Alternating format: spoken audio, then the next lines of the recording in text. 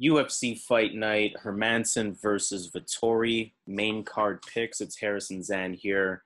Going to break these fights down for you. We got a pretty solid main card. Six fights on the main card. Um, some pretty decent fights. Some pretty good fights from a betting perspective. Some pretty exciting fights from a fan perspective. Uh, so let's let's kind of get right into it for for our listeners here. First fight on the main card, we have Nate Landwehr versus Movsar Evloev, or Evloev, I should say. Uh, I mean, Evloev, of course, is coming here as the undefeated fighter at 13 and 0. A very high level striker. Um, of, of course, we see the boxing display that he presents in the ring. I love the pace that he provides. The cardio never seems to be an issue because that pace uh, is pretty steady, right? Uh, he had a pretty tough fight in his last fight uh, versus Mike Grundy. Uh, showed some good takedown defense at times in that fight, um, faced some adversity in that fight at times, um, but of course pulled it out. And I mean, he has a ground game, right? I mean, he has that Greco-Roman background, um, like like many fighters in the UFC today have, and he showed that in the Barzola fight. So I mean, I, I like a lot of factors here from Evloev. When I think about Nate Landwehr, I mean, the poor striking defense is is kind of where it stops for me. Um, I, I, actually like Evloev in this one. Um, for me, it's a pretty confident pick. I don't know how you feel about Landwehr in this one if he has a shot, but I don't think he does. Yeah, I think this is. Uh, I'm with you on this. I think this is a step down in competition for um, Evloev. Like he just fought Mike Grundy, um, a really good uh, amateur wrestler. Like he's, uh, I believe, he went to the Commonwealth Games and he medaled. Uh, he, he, fought Enrique Barzola. So he's fought the much better guys. Landwehr fought a close fight versus Elkins, um, which could have gone either way. Um, so I'm not high on Landwehr. I don't think he has a shot here. Anything can happen. Like everybody has that puncher's chance. Um, but I don't think this. I don't think he can land it on Evloev. I don't think Evloev. I think Evloev is durable enough. I think he's smart enough. He'll get this to the ground, and I think he'll do some work. Easy fight. Yeah, I think I, li- I like. Uh, I'm pretty confident with Evloev here uh, to get the win. But again, yeah, I can't say finish or not because he he goes to decision a lot. Yes. Yeah, not a lot. Of, I mean, but he likes but to he, strike at a steady pace, right? He doesn't seem to kind of push the KO. If he's going to get something along those lines, it's going to be from the accumulation of punches or you just not being able to handle that steady pressure. So you know. Under Landwehr too, he's been he's been finished. He's been knocked out by Herbert Burns, choked out by Mark Chirico. But aside from that, in in 17 fights, he hasn't been knocked. So he's pretty durable. Like he hasn't been finished aside from those two times. So it's gonna be pretty hard to get the finish. But Evloev should definitely school him, uh, win every round, or he could get the finish. Yeah, and and I think him being the the big favorite kind of speaks to that. So let's move on to fight number two of the main card. We have Roman Dolidze versus John Allan. Um, I had a hard time picking a winner for this fight. I mean, let's let's talk about Dolidze a little bit. I think he has some decent decent MMA stand up. I wouldn't put it beyond the word decent. I don't think it's good. I don't think it's great. Um, he does do a lot of feints, a lot a lot of level changes uh, in his stand up pretty happy keeping the fight on the feet, even though he seems to have that sort of wrestling advantage or that clinch advantage versus some of his opponents. Uh, questionable IQ though, very, very, very questionable IQ. Smiles in the ring a lot when he when he gets hit. Uh, willing to kind of throw the game plan out the pocket in terms of in favor of entertaining the fans. Um, has that one shot power though, but he only throws one shot at a time and, and he never really defers to that strength that he has on the ground. Whenever I think about a fighter having one good aspect to their game, but completely negating it, I have to question the IQ at that point. Um, when I think about John Allan, what I see from him, I do see some decent kickboxing from him. Uh, I like the use of his leg kick when in the stand up. I think he's willing to engage, like we saw in some of his more more recent fights. Uh, pretty decent, pretty decent clinch work on the cage, pretty decent takedown defense, and some good takedowns of his own, as well as some good wrestling here. Um, this is a fight where I think it's one of those fights that are actually going to be pretty boring. Either it's going to be pretty boring or it's going to end in a KO. I, I, think both fighters don't show me much. I think it can technically go either way. I understand that Dolidze is the undefeated prospect, I suppose, in this situation. But uh, I'm gonna go out on a limb. I'm gonna I'm gonna go with the underdog here. I'm gonna go with John Allan. I think this is sort of a dog or pass situation. Uh, I don't know if you feel the same, but I'm not too high on Dolidze here as the favorite. Wow. Okay. So let me just continue off where you, where you left off. So John Allan out of Brazil, or John Allan. Um, yeah, Mike Rodriguez. He beat up. He beat up Mike Rodriguez. Had a really good fight, but Rodriguez doesn't really have um, any type of grappling, and Allan was able to get him down as the fight went on. But Allan, too doesn't have that good grappling. It was just that Rodriguez had zero grappling, and then the concern I have with Allan is when he fought Vinicius Moraes on the contender series. I think it was contender series Brazil. And he got schooled. He got schooled by the by the by the Brazilian easy takedowns. Vinicius got an easy win. Vinicius got the contract. Vinicius went to the UFC, got crushed by Alonzo Menifield in the three minutes in the first round. He got crushed by Eryk Anders in the first round, uh, first minute in the first round. And then he got beat up. I mean, he got submitted, and he's a black belt. He got submitted by Paul Craig in the first round, three minutes into that round. So losing to Vinicius Moraes the way he lost to him is the reason I'm going to take Roman Dolidze because Dolidze has high level jujitsu, high level grappling. He's from Georgia. I think he should be able to get this done. I, I agree. His stand up is kind of it's uh it's not Darius kind of green, but I think he has the the power advantage. I believe Allan could win by knockout. Allan could could get to him, but I think if Dolidze takes this fight to the ground, I think he's going to see how easy the fight is at that point and just continue the takedowns until he gets a finish. So I like Dolidze, and I, I'm pretty confident on this pick. I think he's to get the win here.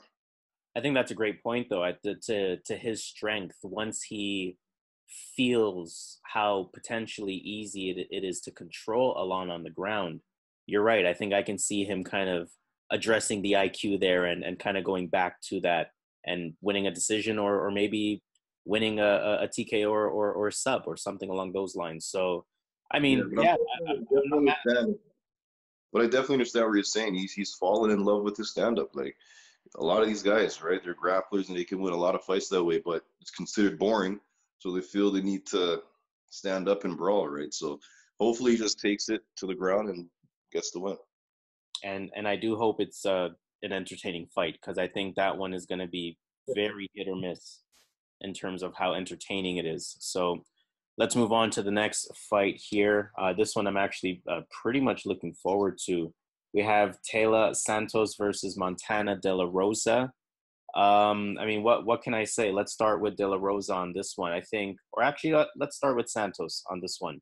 I think she has some pretty good UFC striking. I, I think the boxing is okay. Uh, the really good use of the kicks, but that's of course by way of her having sort of more of a Muay Thai form.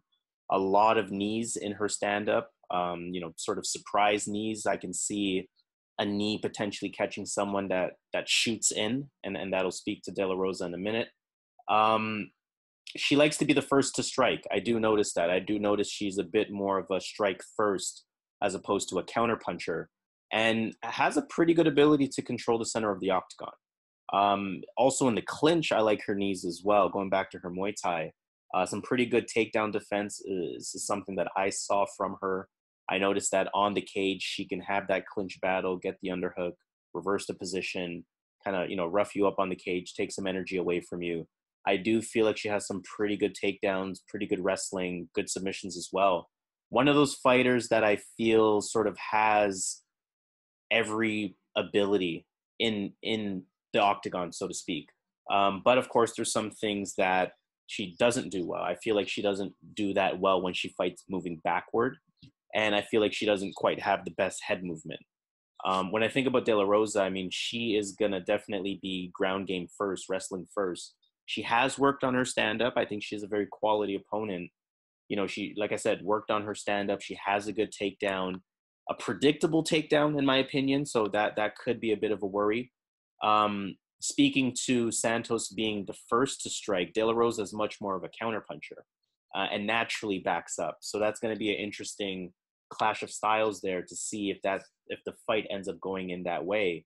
But De La Rosa, in terms of her striking, it's interesting because as basic as it is, um, it it goes from starting okay to showing that it's basic throughout the fight to somehow picking up because I feel she has some, you know, she has good heart qualities in terms of wanting to continue to fight.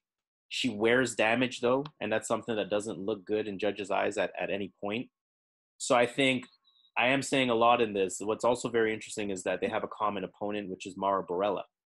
And Mara Borella, I mean, she kind of took the same approach to both of these fights with the the wrestling, the grappling, the clinching. She was able to beat Santos, but she lost to De La Rosa.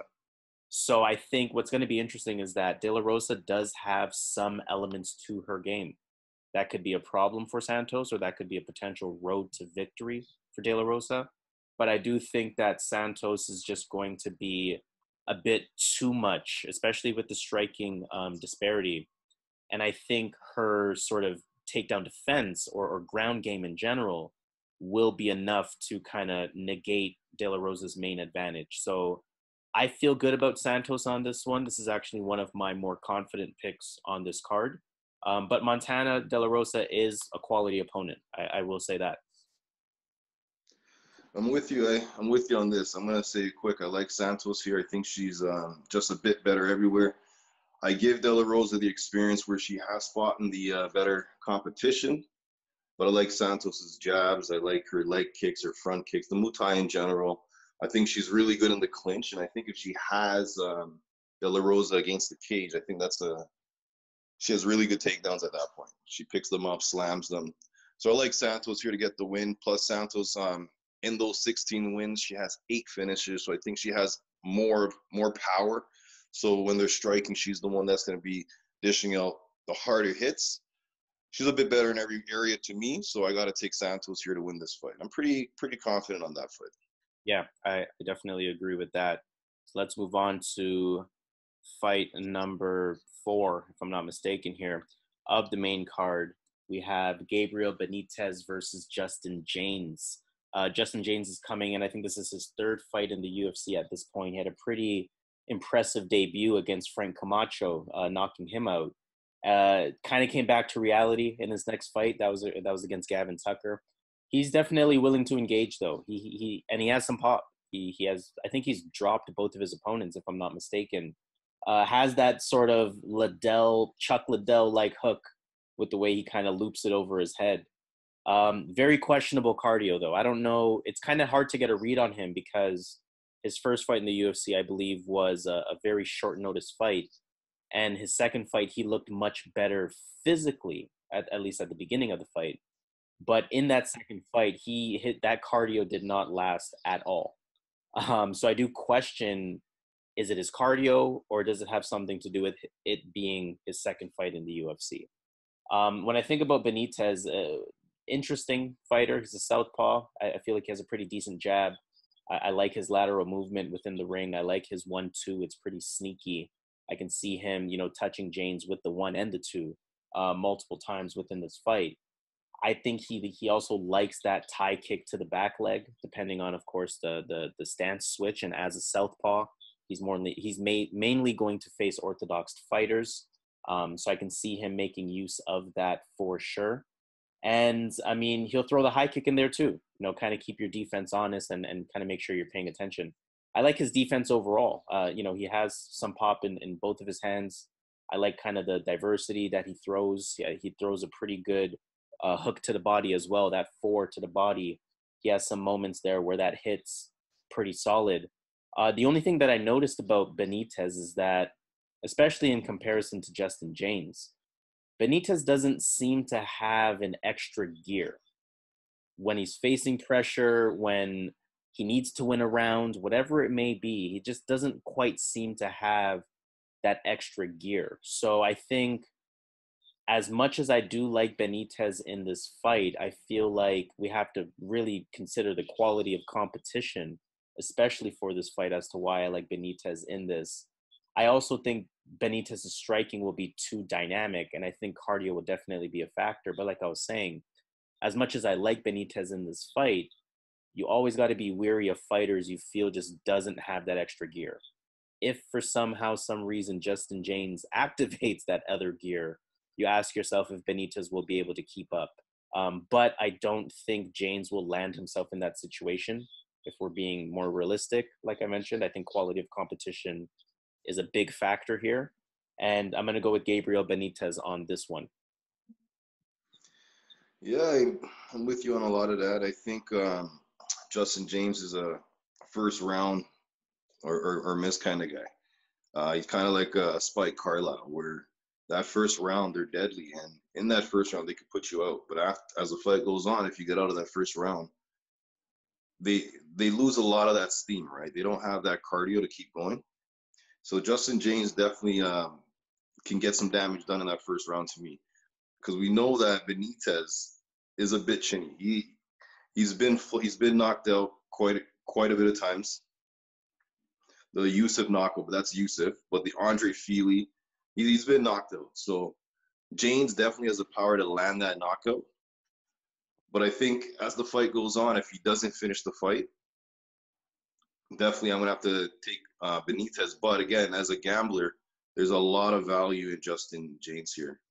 Like I wouldn't, I I personally I'm not betting this fight unless I'm taking the dog here, but there's a lot of value. Justin Jaynes Tapology, look, is, is thinking Justin Jaynes as well. Um, Benitez is real, real, real chinny. He can get just knocked out cold and and laying on laying on the canvas. I can see that easily happening. And Jaynes has the pop to make that happen. He has that, yeah. He has that. He doesn't have the quality strike and the technique, but he has that power, like like a spike, to make it happen. And Jaynes has the wrestling, but he doesn't have the wrestling to carry it on for three rounds. But he does have the wrestling edge. But I think as the fight goes on, if Benitez can get his range, get those leg, get the kicks going, low, high, I think I think I think he should win this fight. He's definitely again the, the better striker, skilled technically, uh, but he's a bit chinny. So again, I wouldn't really put that much value in this fight. If you're feeling Jaynes, I totally get it. There's a lot of value on Jaynes, but if I have to make a prediction here, I'll take Benitez here to take him to win a decision, or third round, third round finish submission somehow submission knockout third round. Yeah, I think that's a perfect way to to kind of sum up what could happen in that fight. Justin Jaynes is, is very live for a, a, a knockout, very super live for a round one knockout at that. But I think if we're talking who do we think may win the fight, I think Benitez probably is the pick there. But again, not a super confident pick, but should win the fight um, nonetheless. Let's move on then to the co-main event. We have OSP versus Jam- uh, Jamahal Hill. This one is uh, going to be a very interesting fight. I think this is sort of your classic youth versus experience type of fight. I mean, Jamahal Hill, I mean, he's 29 years old, if I'm not mistaken, but pretty green in the ring and in his experience. We look at the records, OSP with almost 40 fights, and Jamahal Hill is 8 and 0. Um, so I think again, youth versus experience is going to be the biggest factor here. I think stylistically, at this point in their careers, they're going to have maybe not the same style, but I think they're going to have sort of the similar approach to this fight. Both of them are slightly rangier fighters. Um, they throw, you know, slightly straighter punches. They both quite, you know, they both use the kick. Um, when I think about Hill, some speed for the division, not in his strikes, but in his movement. Um, more of a kickboxing style. He'll definitely throw that kick to the head. Um, the Muay Thai seems to be there. Some some good new, some good knees in the clinch position. I saw him slip some elbows in there as well. Uh, I didn't notice cardio being an issue when I was watching some some Hill fights. Uh, but I did notice that he really only throws one strike at a time, and that strike that comes to you is kind of slow. So, I mean, that said, with OSP, you just never know which version of OSP you're going to get. You know, 25 and 14 kind of says that all. Skill wise, he's one of those fighters that kind of has it all. This point in his career, I mean, he seems to just kind of move at a steady pace. I mean, doesn't really offer much, doesn't really throw much. Uh, and I think this could be one of those fights where maybe not many strikes are thrown in general. But if I think about youth versus experience, it's very tough to ever bet against OSP because you just never know which version of OSP you're gonna get. Um, but if you put a gun to my head, I am gonna go with Jamahal Hill on this one. I think youth is gonna edge this one out. Yeah, I'm feeling that. I think there's gonna be a changing of the guard. I think um, OSP. Um, yeah, he got Alonzo out of there in the second round. He looked good. We picked him that fight actually. Yes. Um, both we both picked him that, and I think he was underdog. Was the underdog money that day? I think he was. Yeah, could have been. If I'm not mistaken. Yeah. So we we definitely called it there. Um, we picked Ben Rothwell to beat him. We both picked Ben Rothwell that time to beat him. We thought he was too big.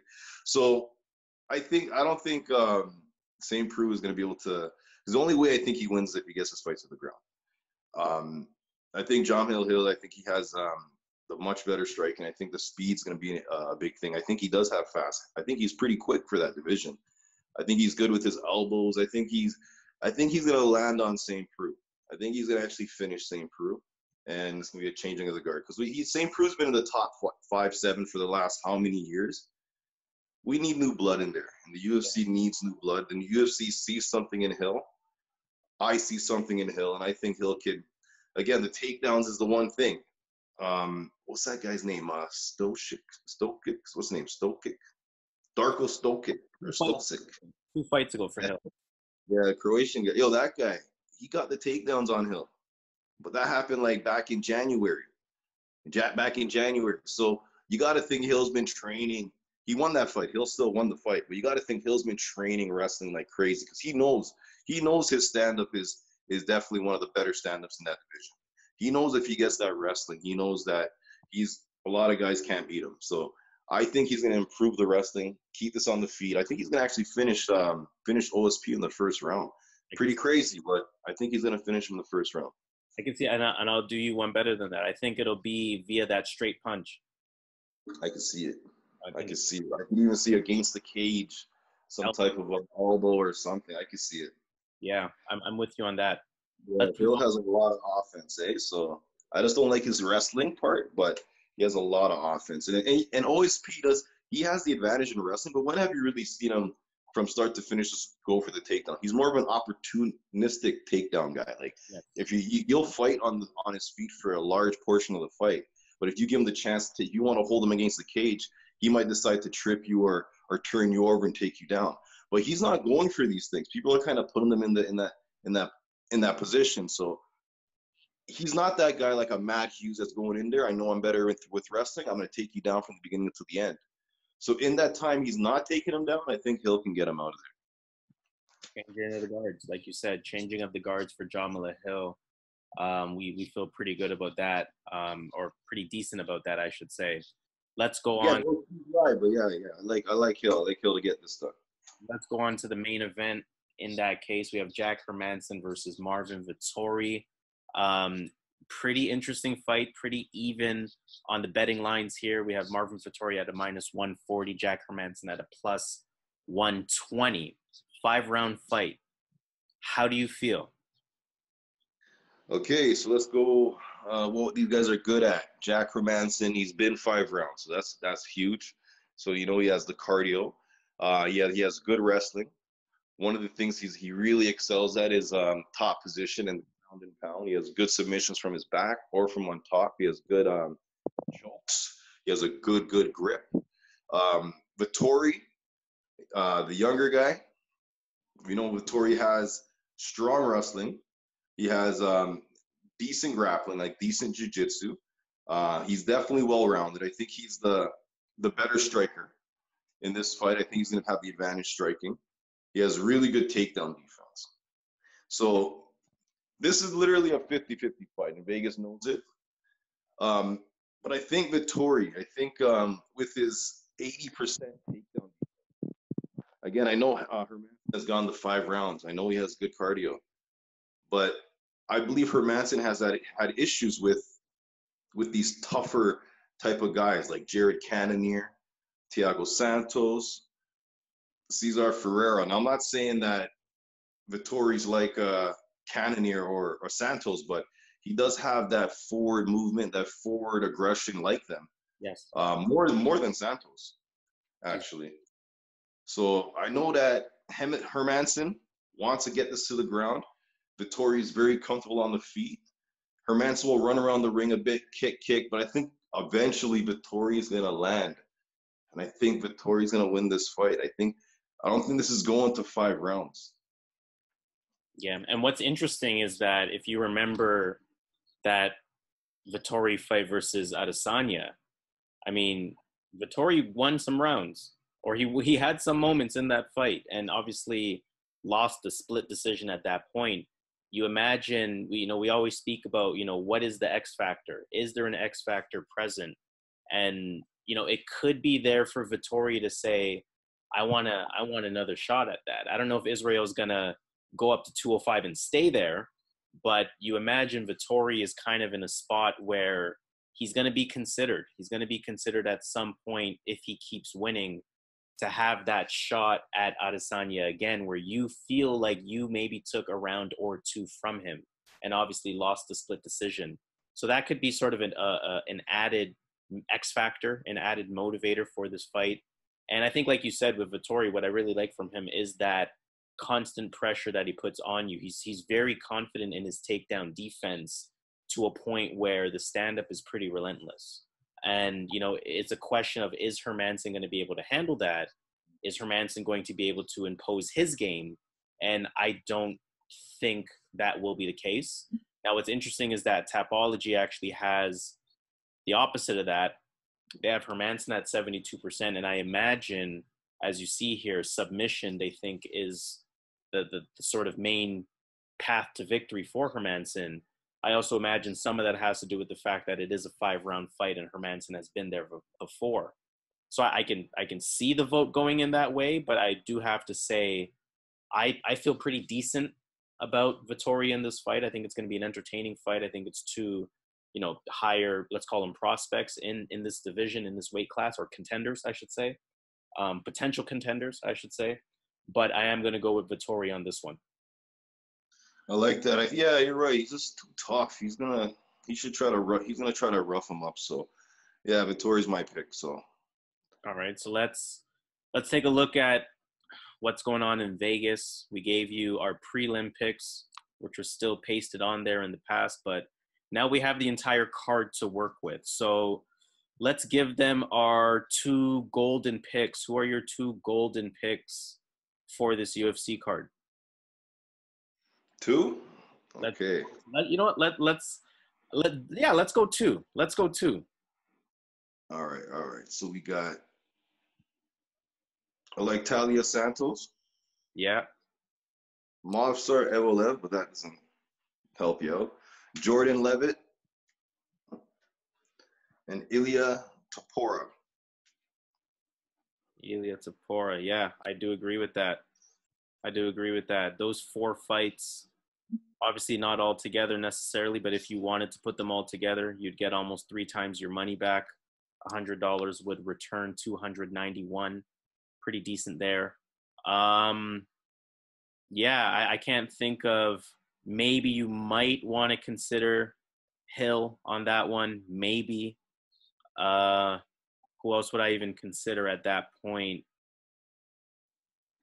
That's kind of it. That's kind of it in terms of the other fights. The other fights are tough fights, right? We went we went on our side, but a lot of those other fights, like we know how UFC is, right? Yeah, you know, I, I like that. I like that. I think those are maybe the four more confident picks of the card.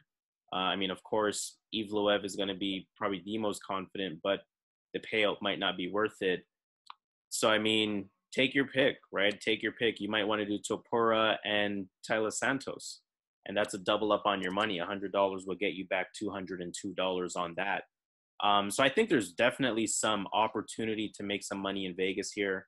I think there's four pretty confident picks here. I think there are some underdog opportunities um, presented here. And I think that there are some parlay opportunities here. So this is going to be interesting. What are you betting on? Let us know in the comments. Sorry, cut you off. Who's your underdog pick of the week? Underdog pick. Ah, I knew you were gonna put me on the spot. Okay. Ah, let me think about that. It's better organic like that. You know, we need the the live responses. well, I'll, I'll, give you 30 seconds though. 20 seconds. You can hmm. Okay, let me think here. Let me think here. Ah, man. I don't feel good about any of these underdogs. I'm not gonna lie to you. Let's see here. I, I I guess I'm gonna go with the only underdog I went with in the video. I'm gonna have to say John Allan. I I, I just don't see it from Dolidze yet. Okay. John Allan. That's my underdog pick. Actually, so okay. Let me give you my underdog pick. Thirty seconds as well. Uh, I got Quinones an underdog, right? That is correct. I got Quinones. Quinones and Cody Durden. known as N Durden. Okay. Okay. I'm not mad at that. I'm not mad at that. So there you go. There you have it. You have a few underdog picks. You have a few confident picks, a few parlay picks. Uh, again, let us know what you are betting on in the comments below. Don't forget to subscribe, rate, comment, share, share, share, share, share. If you bet on UFC, you're definitely going to want to pay attention to our videos. We're giving you these predictions from the perspective of betting. Um, so definitely, again, share that word, spread that word, follow us, press play, enjoy it, and let's make some money. Peace out.